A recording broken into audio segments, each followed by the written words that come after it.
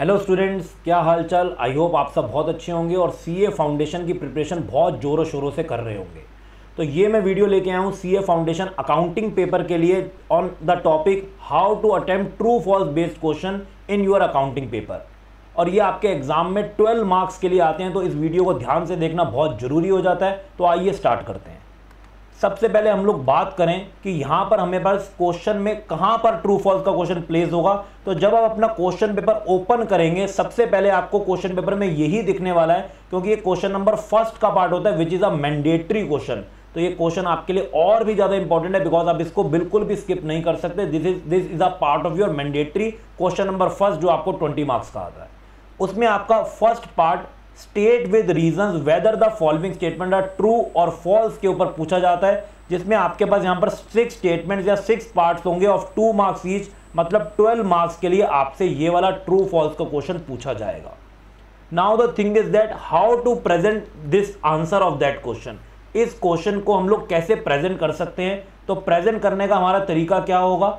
आप स्टेटमेंट को रीड करेंगे और उसके बाद आप लोग लिखेंगे कि वेदर इट इज़ ट्रू और वेदर इट इज़ फॉल्स और सिर्फ़ ट्रू फॉल्स लिखने से बात नहीं बनेगी। आपको इसको वन और टू लाइंस में, इसकी साथ में आपको रीजनिंग भी देनी है। Without reasoning you won't fetch marks बिना रीजन लिखे आपको मार्क्स नहीं मिलने वाले। रीजनिंग इज़ एब्सोल्युटली रिक्वायर्ड ये ऑप्शनल नहीं है, ये बिल्कुल बिल्कुल लिखनी है। मैं बहुत बार बच्चों के आंसर देखता हूँ, उसमें सिर्फ़ उन्होंने ट्रू फॉल्स लिखा होता है but that is not appreciable आपको रीजनिंग साथ में देनी है, क्योंकि यहाँ पर क्वेश्चन में भी क्या लिखा हुआ होगा? स्टेट विद रीजन सिर्फ़ ट्रू फॉल से बात नहीं बनेगी।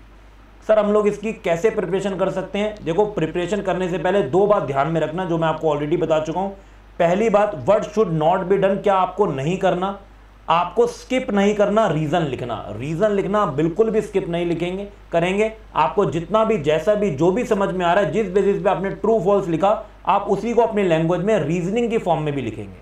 और साथ में, यहाँ पर अगर आप ट्रू फॉल्स की जगह राइट करते हैं यस नो या करेक्ट इनकरेक्ट मतलब तो उसका भी वही है आपको ये बिल्कुल भी फॉलो नहीं करना। आपका answer should again be in the form of true false only जब आपसे क्वेश्चन ट्रू फॉल्स के मैनर में पूछा गया है तो आपका आंसर भी ट्रू और फॉल्स के मैनर में ही होगा। वहाँ पर हम लोग यस नो या करेक्ट इनकरेक्ट बिल्कुल भी नहीं लिखेंगे। ये छोटी छोटी बातें जो आपको बहुत ध्यान में रखनी है। मे बी आप लोग क्वेश्चन नंबर फ़र्स्ट सबसे पहले अटेम्प्ट कर रहे हो तो चेकर भी क्वेश्चन नंबर फ़र्स्ट को सबसे पहले चेक करेगा और अगर उसको वहाँ पर कुछ ना कुछ लैक दिखा तो ऑब्वियसली आपका इंप्रेशन आपके क्वेश्चन पेपर पे क्या हो जाता है? डाउन हो जाता है।